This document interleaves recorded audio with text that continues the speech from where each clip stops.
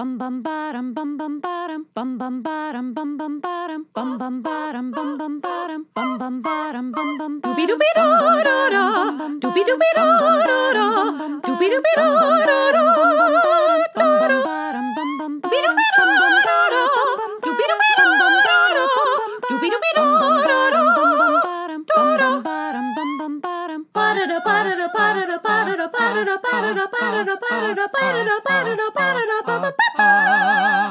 Doopy doopy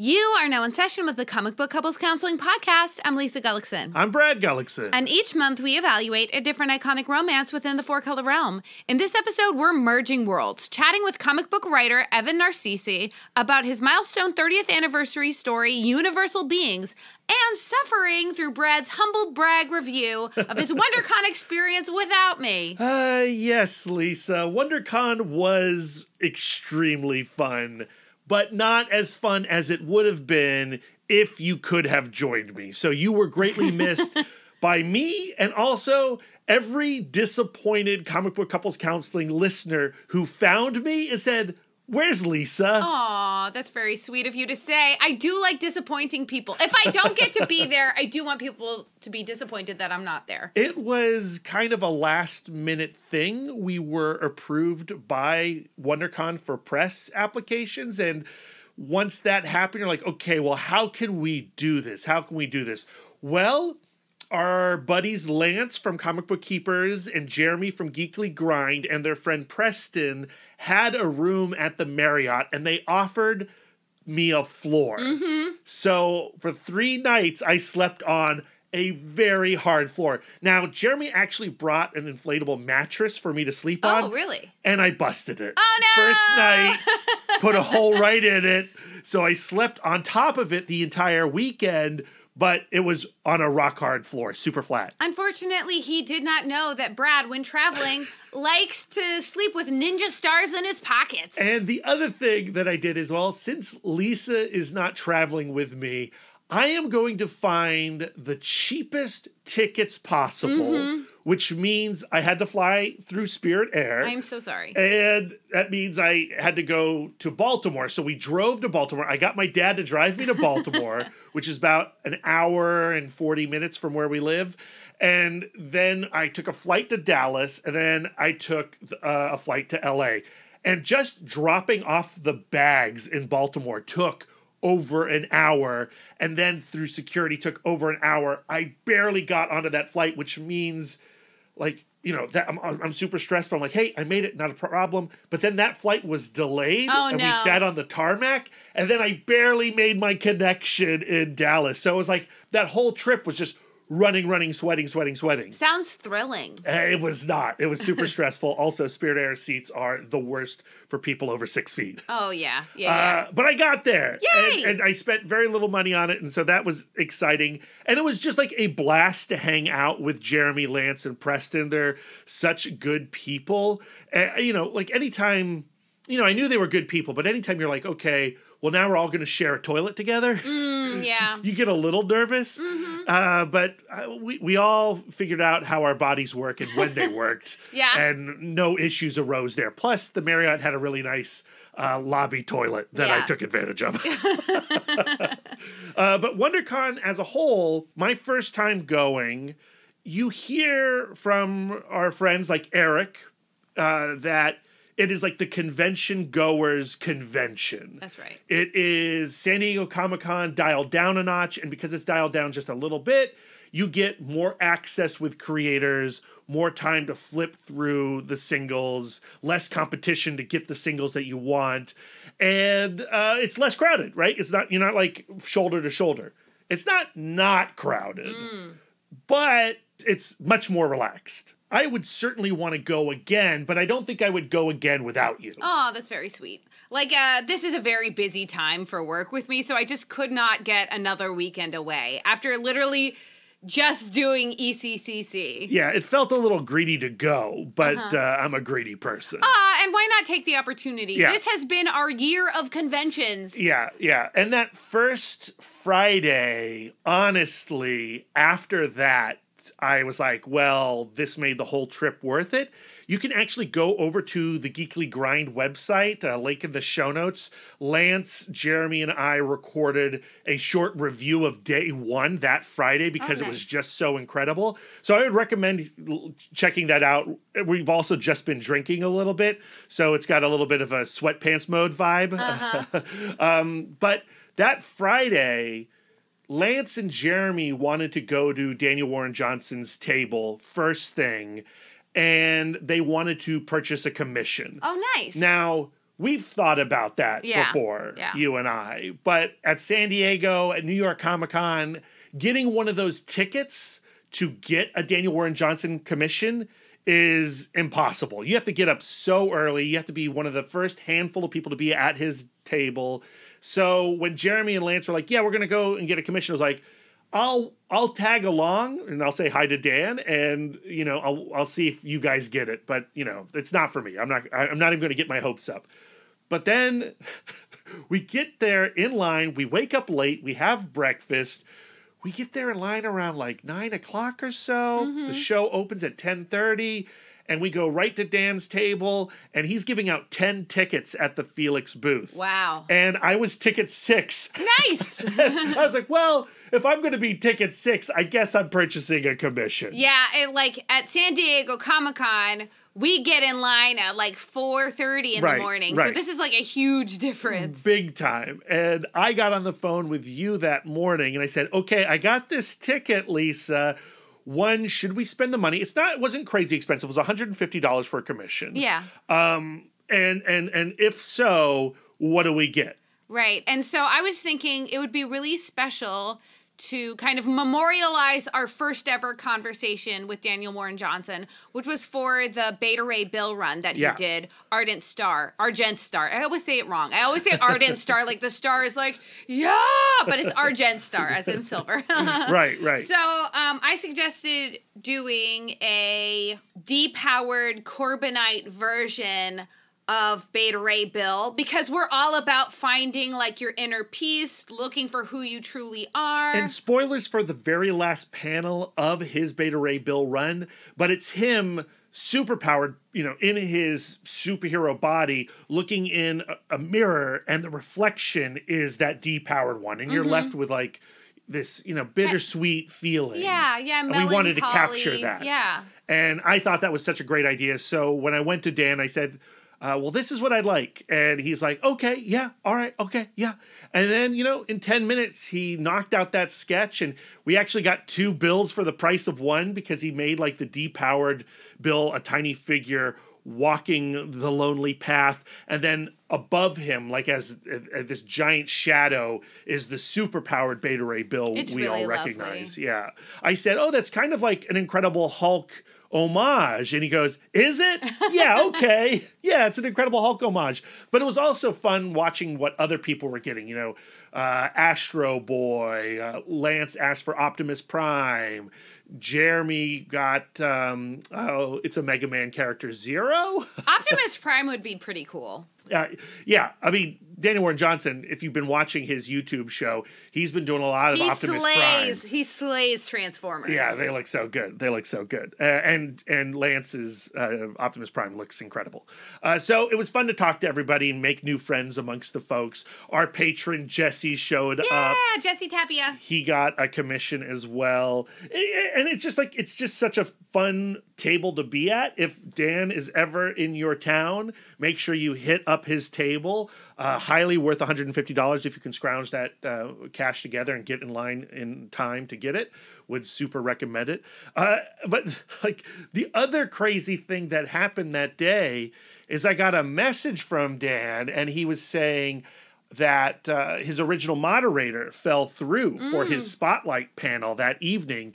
And would I be interested in moderating it? What? I know all of this, but I, this is I'm I'm recreating my initial reaction for you. I was like, "What? You gotta do it! Email him back immediately." and I did, I did, and uh, it was it was a dream come true to moderate a Daniel Warren Johnson panel at WonderCon. yeah. And, you know, we met up briefly before the panel and we discussed what he wanted to do. He had created a slideshow for the presentation, but he couldn't get the iPad to connect with the WonderCon Oh system. no, technology. So he brought the, the iPad to the table and he faced it out to the crowd. He's like, "Okay, break out your binoculars and you could you could look You at didn't this." tell me that part. I didn't. so we would flip through that occasionally, but the theme of his spotlight was really to focus on his early work: Mm. Space Mullet, Alabaster, The Ghost Fleet, and we talked about like the comic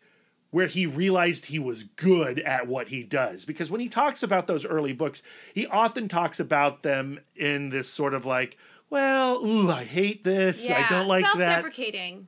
right.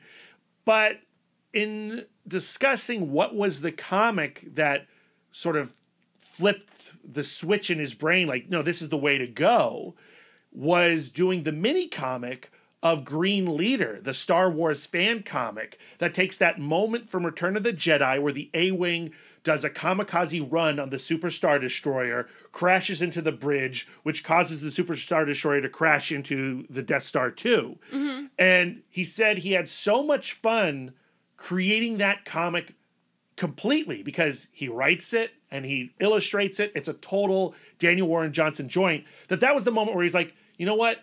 I don't need a collaborator. And it was Green Leader that gave him the confidence to create his own comics. Wow. And I had not really heard him talk about that before. And so it was nice to get that on the record. And he is going to show that panel at his YouTube channel. So you will be able to watch it at some point Co-starring Brad Gullickson. co-starring Brad Gullickson, who was very nervous, but I've been assured by those in attendance that I did a good job. I'm sure you did. And there was one gentleman who came up to me afterwards and he said, "You know what? I come to a lot of these things. They're usually awkward and boring, and you made this one uh, extremely exciting and engaging." And I just want to thank you for it. And I was like, so "Who nice. thanks a moderator?" Somebody who understands the power of love languages.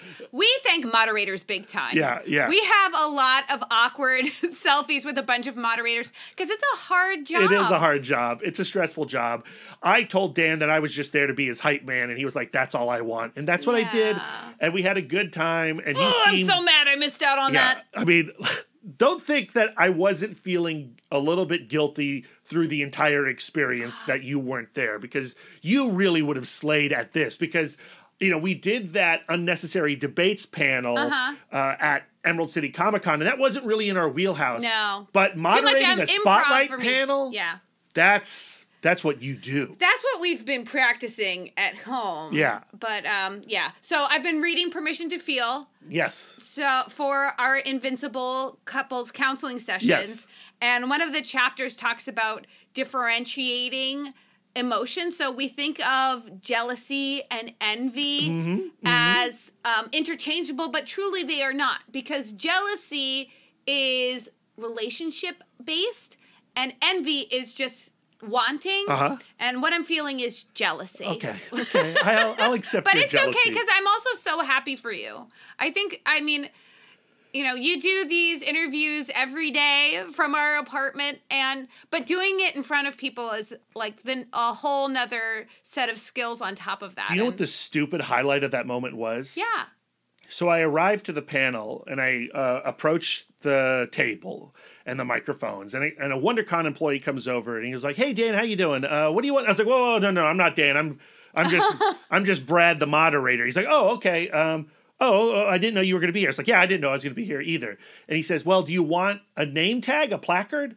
And I was like, "Well, yeah, but can I mean the panel's going to start in like two minutes?" He's like, "No, I can do it. What, how do you spell your name?" And I was like, "Oh, it's uh, B R A D G U L L I C K S O N." He's like, "Yeah, okay, I'll print it up right now." And then in the back, he prints out the placard, and then he hands it to me, and I put it on the desk, and there's WonderCon, Brad Gullickson, moderator. Holy shit! Uh, yes, and he did bring that home, and we will display it proudly in our home. That's so cool. Yeah. So now, how do we get a San Diego Comic Con one of those, Lisa? We're working on it. We're working on it. We're working on it. But beyond that, the show was a lot of fun. So much great cosplay. It was an interesting mix of what kinds of comics they were selling. Uh, a, a mix of like like Emerald City Comic Con. We go to Emerald City Comic Con and it's like dollar comics for days. Yes, and we were like, we're 50% going to find all of the amalgams. Yes. And then you go to like San Diego Comic Con and the prices are like a little bit higher, Yeah. right? And so it was a mashup of those two things. Mm-hmm. There were dollar comics. They started off as three dollar comics and then two dollar comics and then dollar comics. Okay. But then you had people who were selling like amalgam comics for like fifty bucks. And you're like, Right. well, that's ridiculous. uh, but then on the third day, they were up to haggling. So I did a little bit of that. Oh, uncomfortable. I'm I'm not great at haggling, but It I attempted vulnerable. it. I got a few dollars off a few things. nice. Um, of course, we saw Stan Sakai there. Yay! I got his variant, the black and white retro edition of the Where When issue. Uh-huh. That review is up on our website already. I loved it. Yes. More black and white Usagi Yojimbo comics, please. I saw Tom King and Mitch Gerads and met Doc Shaner for the first time. fun. It was yeah. So you know, it's a con. It's my like happy place. Yeah. But again, it couldn't be a pure happy place without you. That's very sweet. and I'm so excited for San Diego Comic Con that we can do this thing again together. Yay! Uh, because that's the best way to tackle all these shows. and a ton of people stopped you and recognized you. yeah, it and was, yeah, I mean, like, it seems like that's getting more and more prevalent with every con. We got a lot of recognition at Emerald City Comic Con, New York Comic Con. We got even more at WonderCon. I I was shocked. Because that also fills my love tank. Yeah. Because if you recognize Brad, Yeah, yeah, yeah. And uh, it sounds like that should be a, like a saying. Like if you recognize Brad, life can't be so bad. Sean Gorman found me on the last day, and he was like, "I, you know, I've seen you around the show all weekend, but I didn't see Lisa with you." So I said, "Surely that cannot be." Brad, but then I got a real good close look at you, and I was like, I think that's Brad without Lisa. I hope they're okay. Oh, yeah. I, I also recognize people partially contextually, so I can relate to that. Uh, yeah. So uh, an absolute blast, but not as big a blast as it could have been with you. How you doing with the jet lag? Because we went to Seattle and then we came back and then you you went right back to Well, Anaheim. I also took because I was getting cheap flights. I took a red eye home. That's something that Lisa would never LA, do. right? We did we did um we did red eyes Once? for Sundance once. Sundance once and I was like never Yeah. again. So I, I got a flight home. Uh, took off at L.A. around ten. Actually, was delayed till 11:30. Mm-hmm. I didn't arrive in Baltimore until seven, and then I had to drive from Baltimore to Virginia. It was rough, and it, yeah, it was not good. I, So- I, am still a little groggy. I got up before nine o'clock today. Congratulations. Thank you. So, like, when Brad was planning this trip, Brad was like, hey, Lisa's not coming with me. Lisa's delicate, so she needs to be treated Uh-huh. with ki- kid gloves. But now I can finally do this on the cheap and fly out of Baltimore and ride on Spirit Air and room with a whole bunch of people. Like, so how do you feel now that you've gotten to live the bro cheap life? Uh, I think that Lisa's smart. yeah, yeah, she is. And uh, there's reasons why you don't fly Spirit Air. there's reasons why you don't sleep on the floor. There's reasons why you don't take red eyes. Uh, and they're all good reasons. There's something to be said. Don't use this to murder us, but we live like nine minutes away from Dulles Airport. and so, like, the idea of landing after a red eye and still having to drive like an hour and 20 minutes home, like, Yeah. no, thank no, you. No, no, no. So, yes, you're the smart one. Uh, I don't think I'll ever do any of those things ever again. I, I might room with like Lance and Jeremy. yeah, you came back with again. with great stories. but you know they're such good people, and we ate well. Nice. Uh, so that was that was pretty great. My favorite stuff that I got though was out of a truck. You know, Yeah. those L.A. food trucks. Oh my goodness! and that is another thing Lisa won't do. And I also went to Pink's Hot Dog. You're not a hot dog Yeah, no person. thanks. So I finally got to go to Pink's Hot Dog, which has been uh, an institution in LA since 1939. It's right across the street from Golden Apple Comics. So I bought some comics. I ordered a chili dog. I got chili all over my single issues. It was the best. Yay! And was it everything you hoped and dreamed for? You know what? It's a hot dog. Yeah, you know what? Sometimes I like to challenge Brad. I'm like, are hot dogs actually delicious or are they just nostalgic? I got the Brando, which was basically a, just a chili dog, Uh-huh. and um, you know, I, you know, I, I don't want to like I don't want to offend anybody, but I feel like I could have made that at home. oh, of course you could. Uh, you got to get those nine inch hot dogs though, those big long hot That dogs. is what she said. yeah, yeah. So uh, had a great time in L.A. I'm at happy for you. WonderCon. I'm uh, honestly, from the bottom of my heart, like I'm so glad that you had a good time, and I'm so glad you came back with stories. I also want to shout out Hank Kanalz, Mm. who messaged us on Twitter and said, make sure to head over to Burbank to the AMC Theater and check out the giant Batman bronze statue that Jim Lee designed. That's right. So I did that, and that statue is epic. Mm. I know they just did a Jenny Frison statue over by the Warner Brothers tour. We're, wasn't able to do that this trip, but maybe when we go to San Diego, we can do another Warner Brothers tour. I love and that. Go take a photo. of That's Maybe see some stuff that is not Gilmore Girls related. I doubt you'll allow that. I'll doubt you'll allow that. I you know the weird thing about the, the WonderCon was that all the volunteers, not all the volunteers, but a good majority of the volunteers were cosplaying as Imperials. Ooh. And I did a reel that you can watch on our Instagram account, CBCC Podcast, where I combined like all the stormtroopers and Imperial officers who were directing the line. And some were not in character, but some were in character. So you're being like, you know, escorted into these like cattle lines mm-hmm. By stormtroopers. Oh, yeah. Shouting at you like, this way, this way, this way. And you're like, well, this is. This doesn't feel good. this doesn't feel good. it just makes you want to like sweep their leg, like, ha ha! I'm a rebel. it it was it was a little like huh It's a little preview for the fascist nation we are going to turn into. yeah yeah so uh but but also i love that the volunteers were in cosplay How fun! uh, but maybe some rebels next time i don't Why know Why not? There's not enough rebel cosplay. there, there really isn't so many stormtroopers uh but yeah so uh there you go. Obviously i had a good time. That's our big wondercon deep dive. I hope you enjoyed it. I hope you have been following along on our twitter instagram and facebook pages looking at all those photographs Yeah. because i took a lot of them. Yeah, and not everything is on our Twitter feed.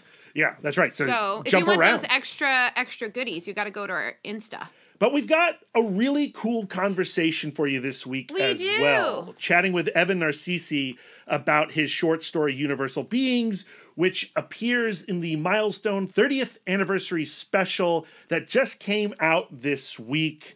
30 years of Milestone comics How awesome! it's like it's one it's crazy to think that i like i remember when milestone launched. Um i was never like into milestone when they first came out. It took me a little while to get to them uh, but now reading them like going back and looking at those comics from 1993 wow it's impressive. You know what dwayne mcduffie Denys Cowan and the gang did with those books. They're so activated. They have so much to say, and they are saying it at a loud volume using our favorite superhero genre. And the compendiums are out now from DC Comics. They're well worth their price tag. I love what DC is doing with the Milestone universe today, uh, expanding it and celebrating it, but nothing beats those original books. And what I like so much about Evan's short story is that it collides the two versions. It is in conversation with those original books. Yeah, and I think Evan, as an obvious big time fan of those characters, was the perfect person to smash these two milestone universes together and, you know, still maintain that outrage and that uh, that political charge that the originals had. This was actually my introduction to Milestone Comics, and what a weird place to start, where Yeah. it's just like, oh, I have to be introduced to so many characters. So many and not characters. only their like original versions, but also their parallel universe present Yeah. versions. Yeah. Um, it's a lot to throw at Lisa. It was pretty baffling, but and it had me on the backs of my heels a little bit on this interview, which I hope you can slash cannot hear. I want you guys to know me. You're- I'm a little defensive. You're so good in the conversation, Oh, though, thank Lisa. you. Trust um, me. But I do.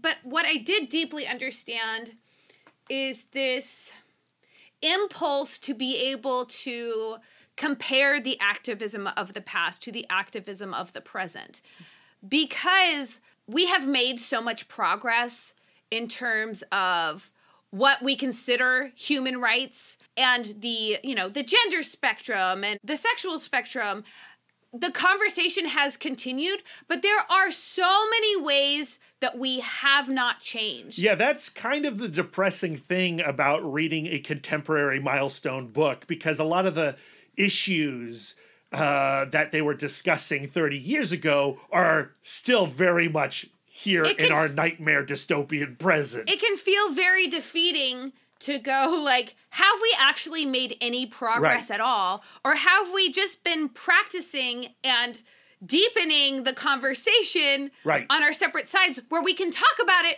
way more articulately and our two sides have learned so much more about themselves Right. but at the same time we keep butting our heads against butting our heads up against the same conflicts Yeah, yeah. And and so the trick is to remain activated Mm-hmm. while also acknowledging the slow, slow progress. And I don't even like using that word progress because it like it just doesn't feel it like feel like it sometimes, Mm-hmm. Yeah, right? yeah. And I think that is what Evan is talking about in this issue. We talk a little bit about it in this conversation. Um, he manages to remain hopeful while also still pissed off and Yeah. wanting to change things. Yeah. And what I also like is that Evan pays so much respect to Dwayne McDuffie, who is no longer with us. There's a real ongoing mentorship there. Yeah. So beautiful. and and every time you have an opportunity to write within the milestone universe dwayne has to be on your mind or on your shoulder Yeah. right and uh, it, it, it was a real like honor to talk to evan about dwayne and about the milestone universe because again i just don't think there's anything in comics like it. Uh, and, and and certainly nothing like what we got 30 years ago. And so it- should yeah. we should we try to give some kind of overview like a little bit of the plot line so we can get into the conversation? Because I have so much more to say about our conversation but maybe we should like save that goodness Okay. for the back end. Okay, so universal beings, uh, what happens is that the two rifts from both universes, Earth 93, the current milestone DC Comics universe, and Earth 1993, the original milestone universe, creates a rift and and the two realms smash into each other. Yeah. And in that smashing, suddenly, you know, new static meets old static, new icon meets old icon, and rocket, rocket, and so forth. And as you were alluding to uh, earlier, what is it like for because like the Earth 93, the original, no, no. Earth 1993. uh, it's hard. Hold on. Which one's which? I got to pull the magazine. up. 1993 is the one from 1993. No, no, no. 93. That's what's confusing. Oh no. Earth 93 is the one Oh no, no, no, you're right. Shoot, you're right. Okay, Okay. no, no, I'm so confused. Uh, Earth 1993 is the original timeline. Earth 93 is the current timeline. That makes sense to me. Okay, what was I saying before? I got all confused on that.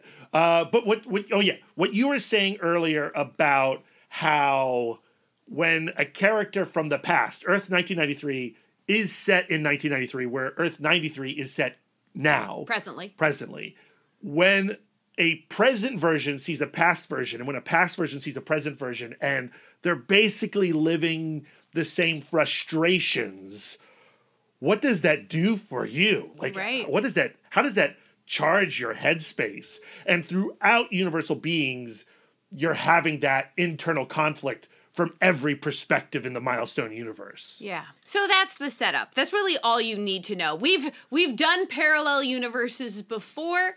This is a continuation of that kind of conversation. Yeah, yeah. W- with the added benefit of it also being a celebration of milestone Yeah. comics, right? So, uh, on that note, let's jump into our chat with Evan Narcisse. Evan, welcome to Comic Book Couples Counseling. How are you? I'm good. Thanks for having me. Oh, it is our pleasure. We're super excited to talk about this anniversary issue, bringing the old milestone universe together with the new milestone universe. Such a fascinating and compelling idea. I would also imagine that the responsibility of bringing those two universes together would be pretty challenging and maybe even a little stressful. Yes, very much so. Um, You know, uh, one of the things I, I have said for for years, decades even, um, is that Milestone made me. You know, like um, Milestone Media, the emergence of it in '93, like hit me like a lightning bolt, right? Like you know, I knew of the careers of like Denys Cowan and Dwayne McDuffie, and um, I knew a little bit about Michael Davis because he'd um, painted and colored some um, pre-milestone work. And um, I, I, did read Black Enterprise regularly. I, actually, I shouldn't say that. I was aware of it because um, I was a journalism student. So, um, and being a Black media outlet, that, that was definitely something that caught my attention. So I knew like the founders' work like individually before Milestone, but seeing them come together to make this thing, make this universe a reality was really stunning to me. I'll, I'll never forget. Um, I took cultural journalism class um, at NYU, taught by Ellen Willis, who was a pioneering um, rock critic from like uh, the first wave of writers who wrote for Rolling Stone, um, among other things. And um, you know, we had to do a presentation on like some new cultural work that we liked, and I did mine on Milestone, and she was fascinated by it. And uh, and she was a white woman who was then, I think, in about her fifties or sixties. I'm not exactly sure. So it wasn't like anything proximate to her own like lived experiences. This was something new to her, and like she felt like the energy coming off the page. Like if she felt that, I felt it like times a thousand, right? So yeah, when you say the word responsibility, it definitely comes back to that, right? Like those guys felt a responsibility.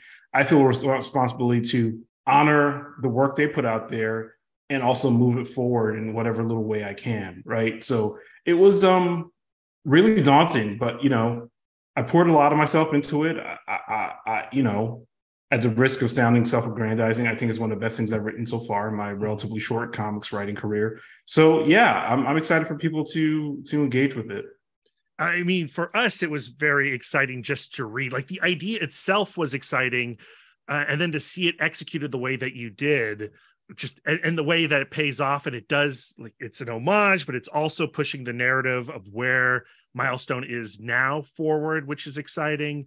Uh, but again like just getting back to like you joining the project what was the mission statement of this particular idea going into it? Yeah so you know i mean we, we have to go back a little bit in time when the milestone reboot was happening and um, DC editorial was was talking to talent about it, they asked actually asked me to pitch one of the books, and uh, it came down to me and another creative team on the, title, which I will not name. But um, I'm enjoying their work on the on the title, so no harm, sure. no foul there. You know, ironically, one of the reasons they asked me is because of some of my video game work but you know that made it clear to me like yeah they really wanted to update the characters to feel like uh, relevant um, to the reality of like 2020 2021 then i got i went on to work on a documentary uh, the milestones Gen- generations documentary. I was story producer on that so which is great. um, we yeah we watched it, it. yeah. Yeah, yeah it, again another work that's uh, so close to my heart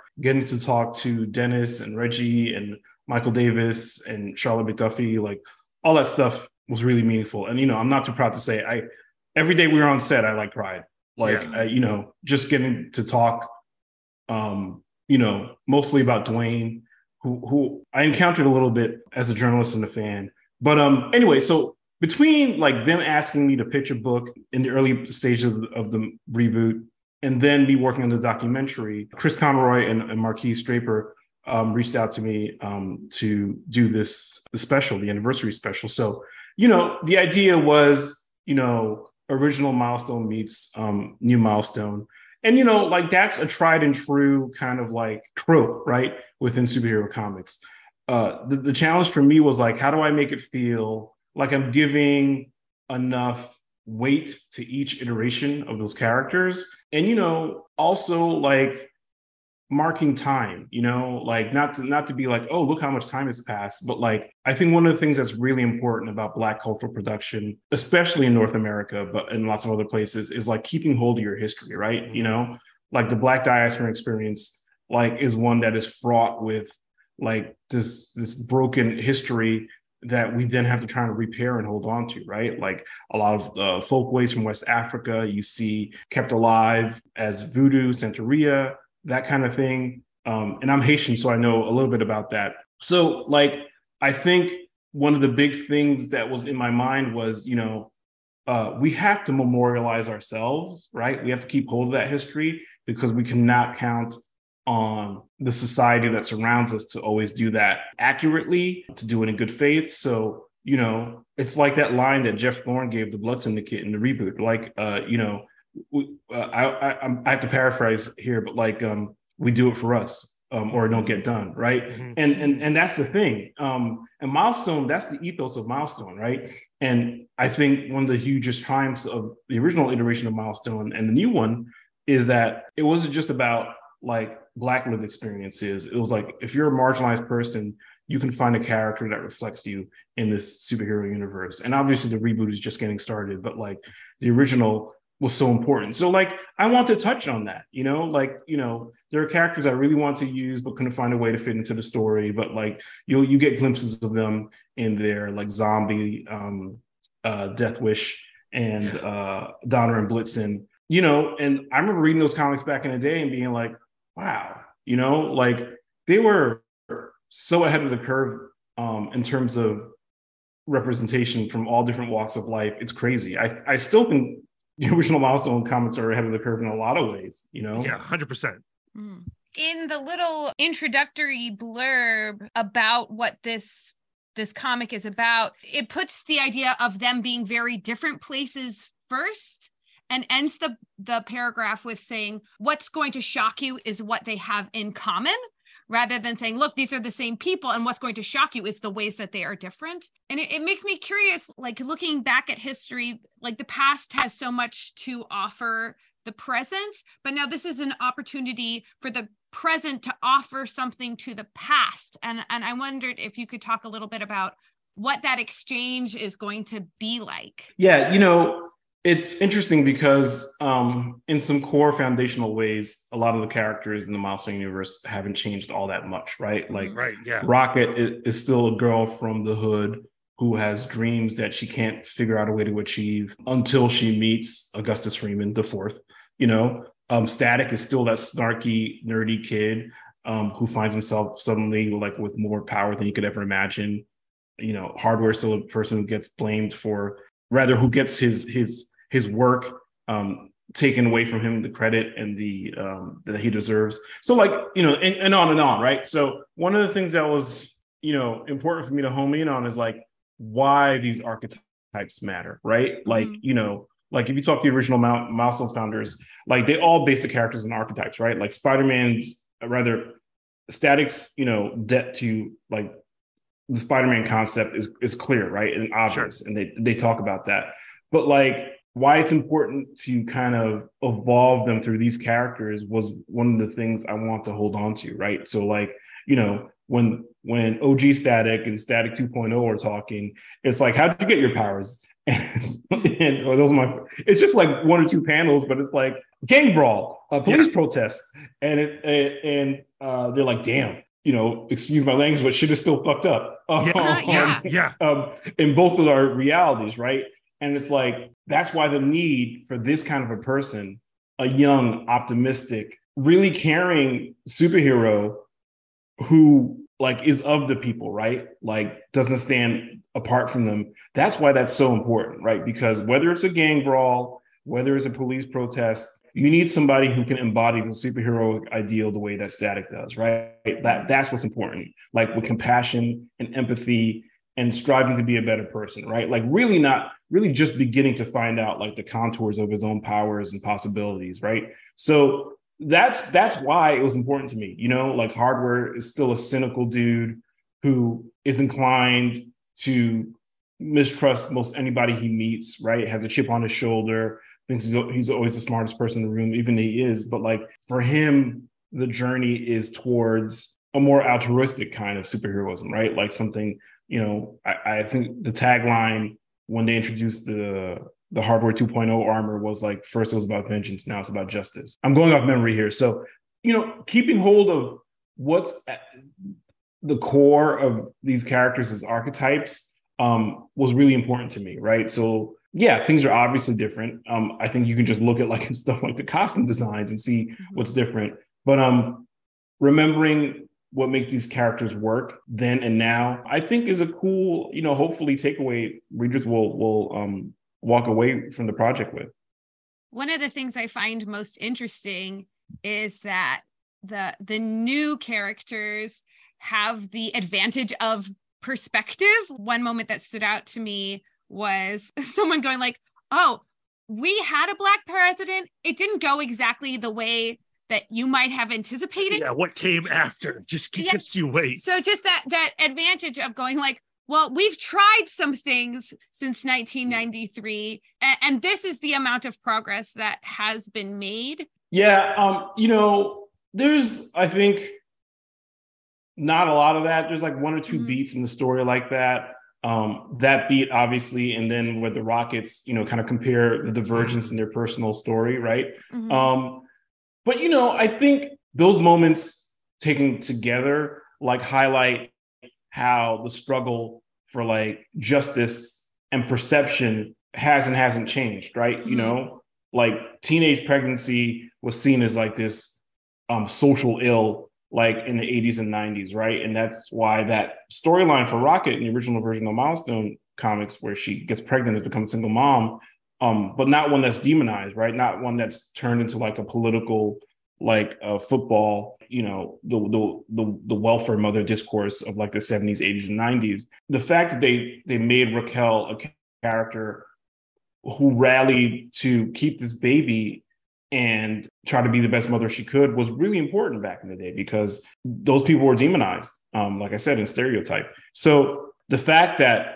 we've moved on from that, right, a little bit as a as a society, like that demonization, even though you still see it in pockets in discourse, right, political discourse, but it's not treated as like the same kind of sin as as it was before, right? But there are still other things that um, the the new version of Raquel has to deal with, right? And the, the same thing with um, the black president beat. It's like, oh, okay, this was the thing we thought we should strive for, and once achieved, it- you just realize the re- resistance to like black liberation struggles just evolves, right? So like the, the the fact that we had a black president, you know, just further inflamed anti-black sentiments in certain like socio-political corners, right? So like, yes, we we still have to stay vigilant. We still have to, you know, speak truth to power and keep our elected officials to, uh, you know, to account, you know, to call them on the carpet. So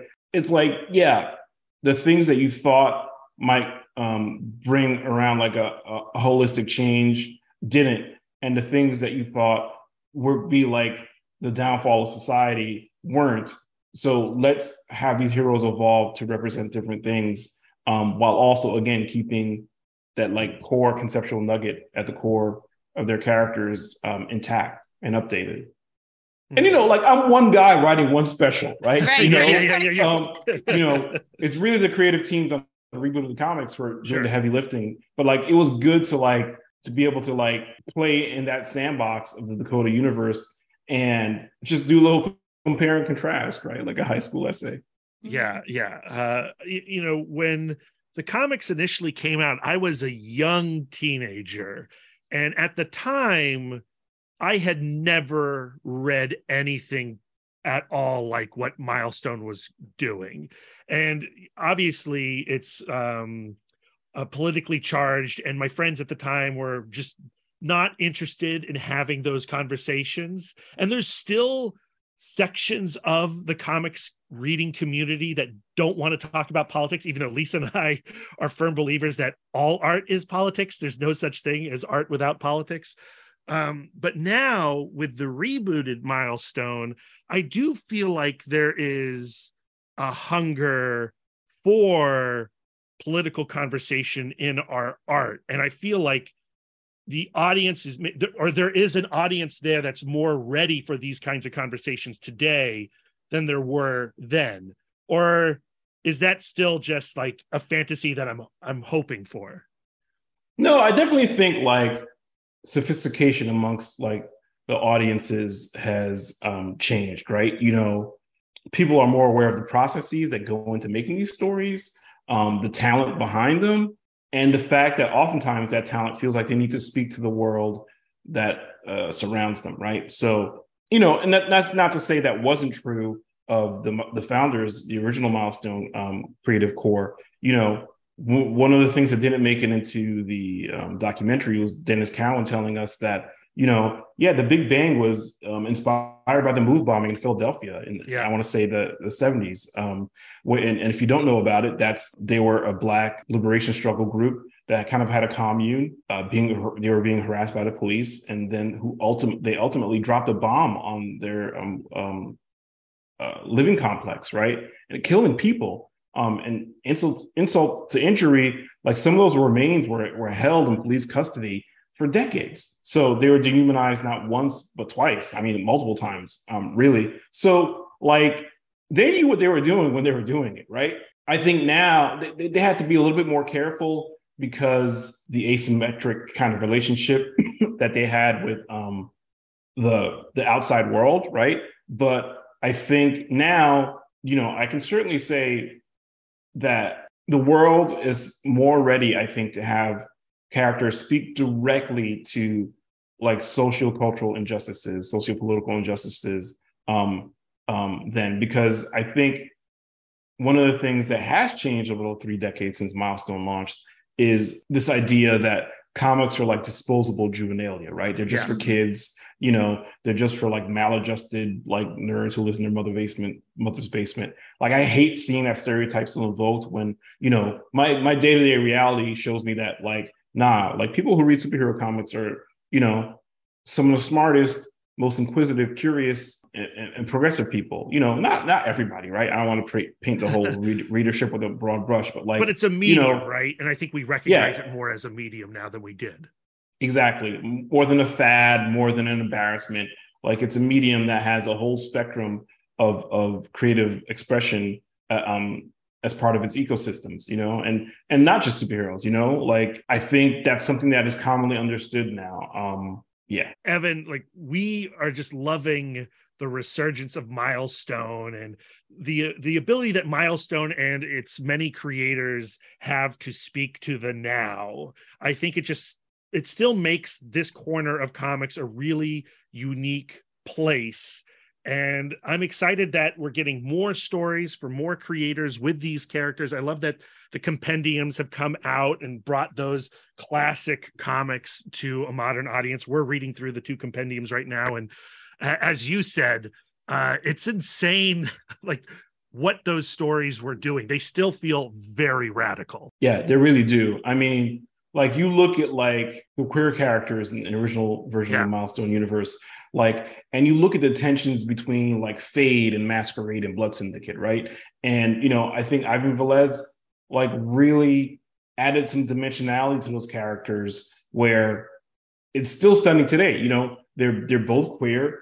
They they they express their gender identity in different ways, and you know, they they they deal with like uh self-loathing and questioning whether they'll be accepted. And I feel like, you know, it still feels as relevant today in a lot of ways, unfortunately. That uh, and, and that's just one piece of like the whole mosaic, right? Um, and you know, so you talk about speaking to the now. ChrisCross is like a- an original Mhm. like uh, uh, uh, milestone creator, and he does the character designs for the new Blood Syndicate, and they're like incredible, you know. And you're like, this guy Mhm. hasn't lost a step, you know. And when you talk to Chris, it's like, yeah, it's just about keeping your eye on the world around you, right? Like, and not resting on your laurels, and you know. At the risk of like getting emotional or whatever, I often think about what Dwayne would be doing now if he was still with us. You know, Mhm. he he was a literal freaking genius you know um and just had such a clear like perception of the world that um surrounded him and the other creators and we're lucky we got him when we did. And um you know the fact that the other founders are still around i just want them to get their flowers you know? I still feel like Denys Cowan is somebody that like for as like big as he seems in comics, a lot of people don't know who he is and what he's capable of and what he can do, you know, and and the same with so many other people. And you know, then you think about the the milestone as a talent incubator. You know, John Paul Leon comes out of Milestone. Mhm. Um, ChrisCross comes out of Milestone. Uh, some of J. H. Williams's work is was the first work was with Milestone. Humberto Ramos. You know, they put people on. They didn't just like, you know, secure their own kind of um, upgrade and then leave people like um, behind. They they made sure to pull people up with them. And you know, the fact that the Milestone Initiative now exists as this like formalized entity within DC, like is the best part of that legacy continuing. So, you know, um, again, I'm just lucky to get to, to, to, to participate in this legacy. Um, um, and I hope it continues for like another 30 years, 300 years. Yes, please. Amen. Uh, Evan, I think you do uh, a- a great honor and service to Milestone with this story. I hope you get to play around with these characters in the future as well. Yeah. Um, there's some stuff coming that I can't talk about yet. Okay. I don't think. Okay. Cool. Uh, cool. Cool. Cool. Uh, well, Evan, thank you so much for hanging out and chatting with us today. It was a, a real pleasure, and uh, we hope to do it again when you maybe can talk a little bit more about what's coming. Thank you guys so much. Appreciate it. And there you have it. Once again, thank you to Evan Narcisse for joining us on Comic Book Couples Counseling. Lisa, I love that moment in the chat where I stumble and I struggle to find the question asking him like are audiences hungry for what milestone is feeding them right now and Yeah. my hope is that they are and i liked his response to it His response was, of course, yes. The the reader is ready. They're ready as a comic book reader now. We have this greater understanding of how comic books get made, but also we're in a place where just in general we're we're getting more sophisticated about the cultural conversation. And I appreciated how he said that that's not that different than back in 1993. Mm. Like the audiences were there too.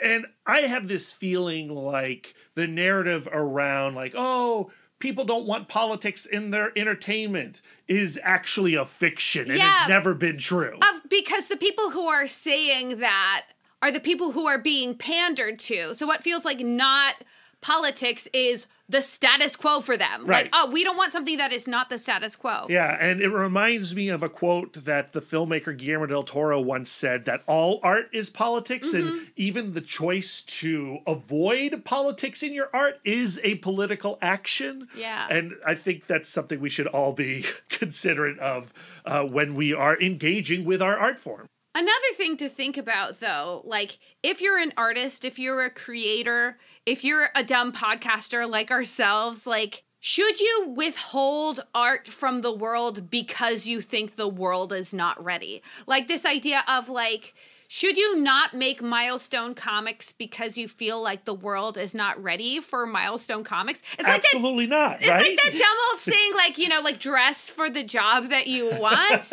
like, make comics for the readers that you want. Start a conversation for the conversationalists that you want. I mean, yeah, it's you know, you create art that you want to see, right? Right. Like make movies that you want to watch, make comics that you want to watch, uh, make them for the world you want to live in. yeah, and this a- idea absolutely. this idea because you feel lonely in your creativity and you feel or you feel lonely in your activism and you don't think that there's an audience there, so you don't write to that audience that's missing. But guess what? That audience is there. They will find you, so like i wonder if and you might even create some. yeah if that activism if that art is like a magnet you know what i mean Yeah. Okay. So remember several years ago, we saw the film Sorry to Bother You Yes. at Angelika with Boots Riley in attendance. That's right. I was going to tell the story, but you tell the story. Uh, this is you one of our. do it. This is one of our Gullickson mantras. Yeah, this, this is was like a Nirvana moment. This was like a. "Oh." this is an idea we return to all of the time.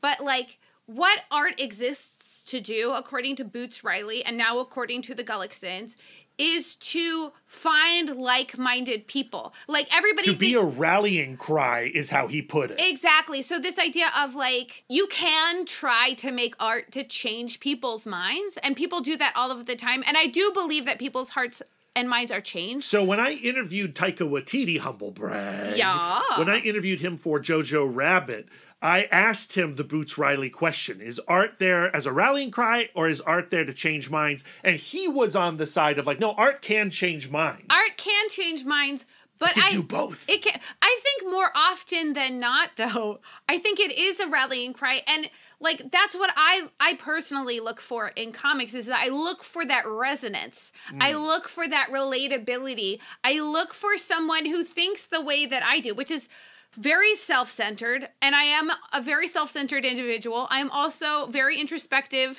person um, and, and a very introverted person so i'm thinking about myself all of the time. Um, and so of course i think everybody reads like me. But like i do think that milestone did create a conversation but then did also rally people together and i think that that's what art is there the best art is there to do and the most generous art is there to do i like the idea of interacting with the world as if it's the world that you want it to be and i know that we can't do it all of the time but at least some of the time right Yeah, yeah. And, you know, if you're curious, if you're engaged, check out what DC is doing right now with Milestone. Pick up that first compendium of comics that they've published. even if you've never read a milestone comic in your life Yeah, yeah. And uh, you know, check out what Evan is doing over there. He also just did a comic with Spencer Ackerman on uh Wildstorm versus Waller. Which uh, came out this week. and doesn't wanna read epic. that? Yeah, so check that book out too. Follow Evan on all his social medias as well. That is going to do it for us this week. Of course, our next episode, we are going to return to Invincible. We're halfway. No, we just started. We've done two episodes on Invincible. So we chatted with Robert Kirkman, and he helped program our four Invincible Mark and Eve episodes. We did the first one. We started at Invincible Modern Family because that's where Robert wanted us to start. And our next one is going to be Invincible Reboot. Lisa has finally read Reboot. Lisa, did it melt your brain? It did. It did. It was saga esque in the whiplash. Yes, yes, yes, yes. So uh, be on the lookout for that next episode. We are going to focus on Reboot. And then from there, Hold on, let me th- me- Yeah. mention our um, love expert Oh, yes. for yes. Invincible, Yes. for Mark and Eve, Thank you, Lisa. is Marc Brackett. And the book is Permission to Feel. Um, we started the conversation by giving Mark and Eve that permission to feel, that awareness that your feelings are there to help you. The next section of the book we're going to talk about, we're getting into the acronym RULER and how to regulate, to recognize and regulate our emotions. Uh, I'm excited for it. Uh, and then, of course, we're going to round out our Invincible conversations with two episodes covering the Full House arc and then the final two trade paperbacks in one episode, The End of All Things. Yes. And uh, yeah, I'm super excited about all that. And my friends, we are going to have some pretty, pretty, pretty, pretty, big pretty, pretty good. conversations with some comic book creators that we're not ready to reveal yet because things can fall through and we've already had to reschedule some of these conversations. But if it happens, friends, oh my goodness. There are two universes. One universe where this conversation happens, and one universe where both co- the conversation doesn't happen. Both worth living in. The conversation's supposed to happen Monday, though, so I need all of you listening to cross your fingers. You're going to want to hear this chat. Yeah. And uh, yeah, so stay tuned. Follow us on all our socials, and we will announce when that has actually happened. okay, Brad. Yes. Um. Uh. I don't have a clever transition planned.